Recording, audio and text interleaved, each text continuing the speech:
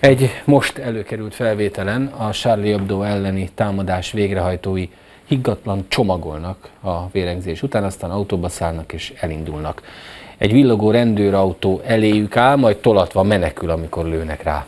Így tudtak ugyanis meglógni, elmenekülni a terroristák. Kerner Zsolt összefoglalója. Megbosszultuk Mohamed profétát, Al-Qaida Jemen, ezt üvöltözte az utcán a Charlie Hebdo szerkesztőségében gyilkoló két terrorista. Új videó került elő a mészárlás utáni pillanatokról. A felvételeken a két férfi, Sheriff és Said Kouashi azt követően látható, hogy kijöttek a Charlie Hebdo szerkesztőségéből. A kiabálás után az autó tetejére teszik a fegyvereiket, betárazzák a gránátvetőjüket, majd különösebb sietség nélkül visszaülnek az autóba. Elindulnak, de alig haladnak néhány métert, egy rendőrautóval találják szembe magukat.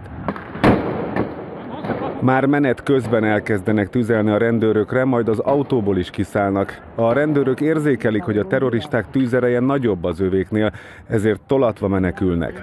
Csak az utca végén állnak meg. A terroristák is elindulnak velük szemben.